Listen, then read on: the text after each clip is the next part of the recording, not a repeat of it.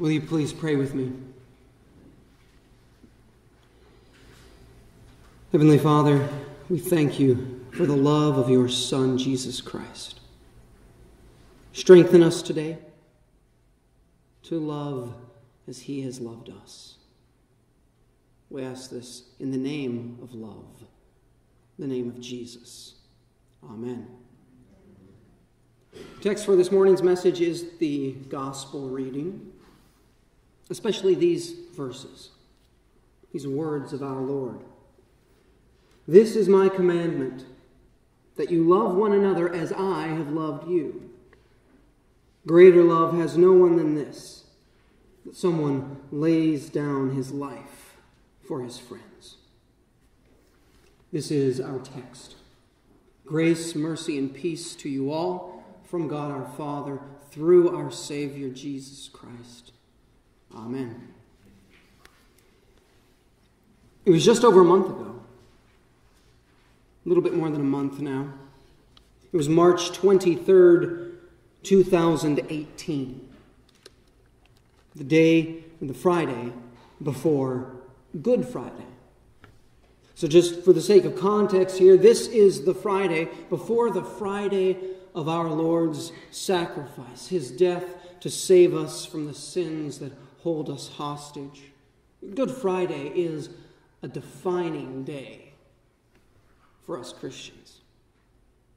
And March 23rd, Friday, March 23rd, 2018, was a defining day for the small town of Trèbes in southern France, as well as a defining day for, for all of France and one man in particular. The day in the marketplace started like any other, customers coming and, and going. And it was the case, as is the case in, in most marketplaces in small communities. In my case, growing up, it was the Walmart in town. And what happens is you go to this place of, of commerce, but it is also a place of greeting. Because as you're buying the goods you need, you see a neighbor over there and a friend over there. And that was the situation here. Just normal, everyday stuff. Buyers buying, sellers selling. Just normal, peaceful activity. And then the shout was heard Allahu Akbar. The ISIS inspired terrorist stormed into the supermarket building, brandishing a handgun and a large knife. Get down, get down, don't move, he shouted, while almost simultaneously firing a lethal shot into an innocent bystander. The first of four killed and four injured by this terrorist. Once inside that, that supermarket building within the greater market area, once he was inside, his next move was to secure a hostage, a human shield. And so he grabbed the cashier and pulled her close. She would do. Scene of chaos. And then into this chaos, into this destruction and this death, stepped a man. Arnaud Beltrame stepped into the store. Arnaud Beltrame was a police officer, a gendarme. And as Mr. Beltrame approached the store, he came unarmed. And intentionally so, because the reason Mr. Beltrame was entering the supermarket was because he had an offer to make the terrorist. What a, what a frightening, horrific situation, especially for this cashier turned human shield to be blindsided, just going about your day, and then all of a sudden to be overpowered by the sudden appearance of evil. Such a helpless feeling to be, to be taken hostage, held powerless, all the while knowing that death is nipping at your heels. And that wherever this is headed, it will not end well. You and I have probably never been in that situation, at least not physically. And yet, if you've ever known life outside of Christ, you've been there spiritually, whether you felt it or not. And even for those of us who grow up consistently in the faith, we too know what it's like to be blindsided by evil. To be going about our day when all of a sudden, boom, there it is. To be blindsided often by some sin. Maybe our own, maybe some sin of another. To be going about a, a normal day when, boom, evil invades. Maybe it's in the form of a past adultery that is over and done and history, and yet it has come to light. Or, or some lying gossip we thought was relatively innocent at the time coming to full fruition unexpectedly. We all know what it's like to be going about our day and then have some sin or some consequence of sin just seem to come out of nowhere. And then, bam, there we are, face to face with it, seemingly powerless against it. This is how sin works. This is our natural fallen condition. Much like that helpless cashier, our sins hold us hostage. We often feel ourselves helplessly tied to our sinful desires and, frankly, our sinful habits. So much so that when a sin is discovered, when someone points it out to us, our gut move natural reaction is to either act like it isn't a sin or, or deny we really committed it in the first place. To lie, to add sin on top of sin, to tie ourselves up even more because we can't even bring ourselves to acknowledge it. Hostages to our own sin. And all the while, the wages of sin, death, is nipping at our heels. We are vaguely aware that if things continue on this trajectory, they won't end well. It's a chaotic feeling, if you've ever been there. And into this chaos, into this destruction and death, steps a man. A man who not only tells us that the greatest form of love is to lay down one's life for another, but a man who lives it out. Jesus Christ stepped into our human world with all of us held hostage and bondage to our base instincts and our self centered habits. And Jesus shows us he doesn't just tell us, He shows us that the greatest form of love comes from self sacrifice, from one person substituting his life for another.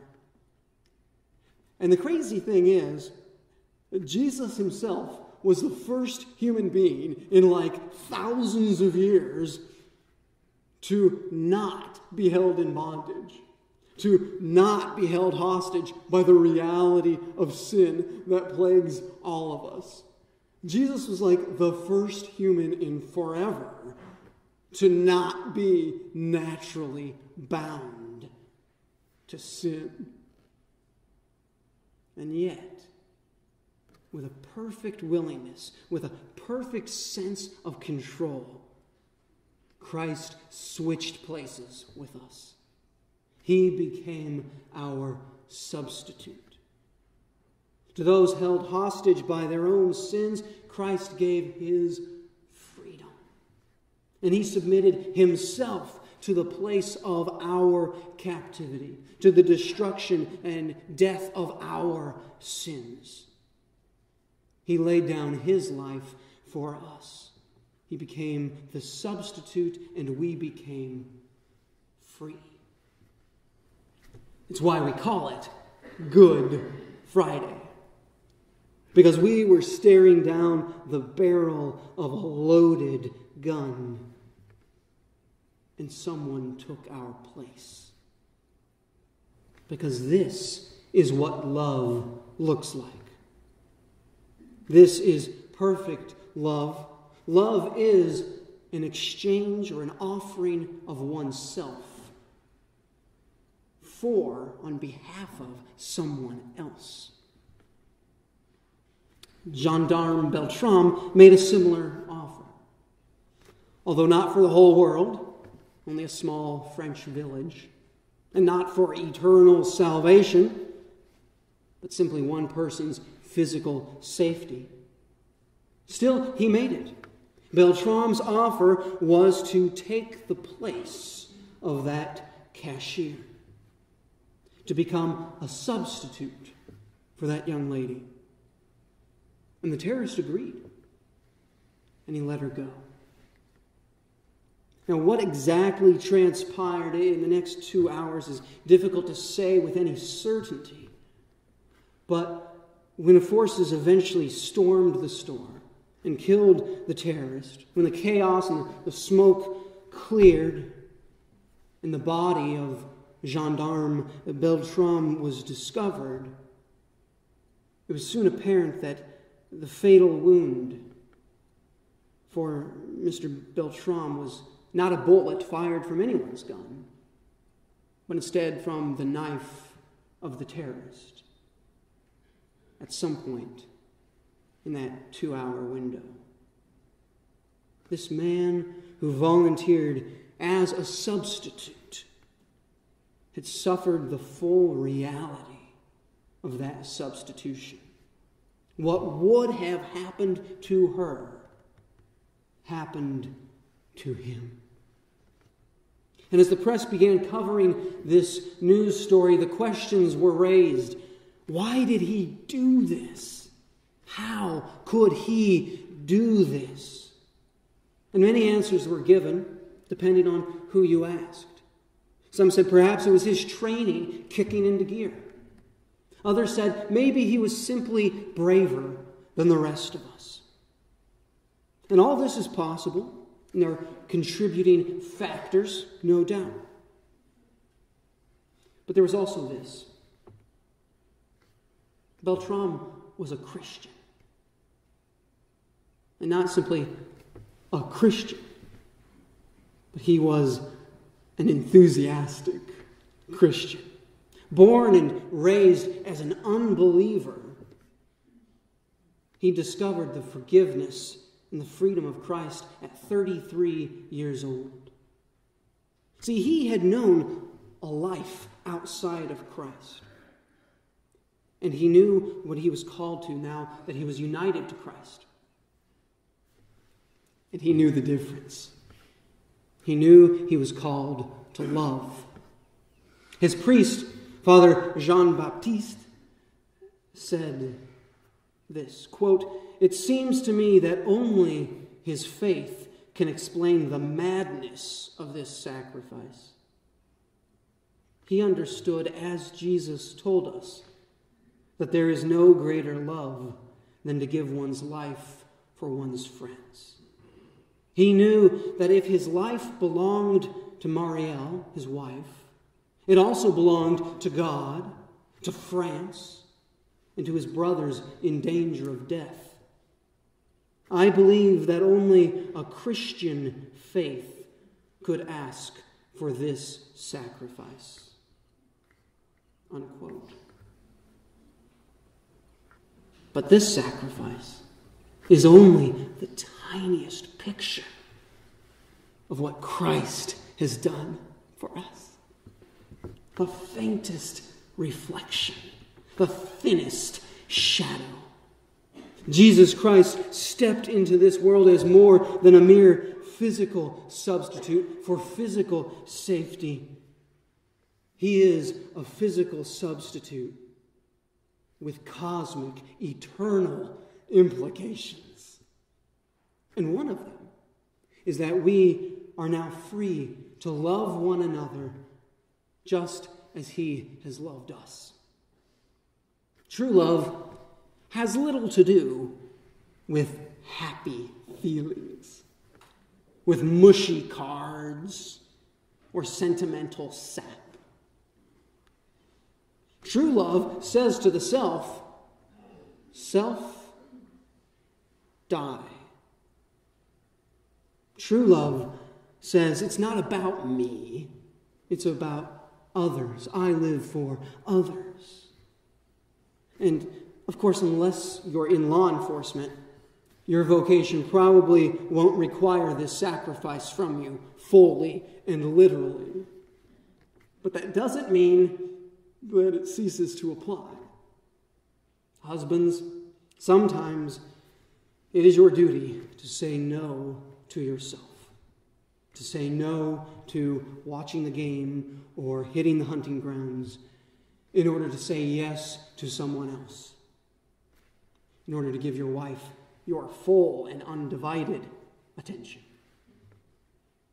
Young people, sometimes this means saying no to yourself, saying no to a movie or, or an outing you wish you could go be at right now in order to say yes to someone else, like a parent who has a different priority for you, or a church that needs your involvement. No matter your vocation, love is not about preserving the self. Love is not even really about feeling happy. Love is about laying down oneself for others. We have an amazing liberty as Christians. Because while we do struggle with sins, and at times it does feel like we are helpless and like they define us, they do not define us. They do not hold us hostage, imprison us forever, helpless and hopeless. We have been set free because someone else stepped into our world. Someone else said no to his life and said yes to ours. And it's a good thing, too, because we could have never saved ourselves. We could never have worked our way out of our tangled knots of sin.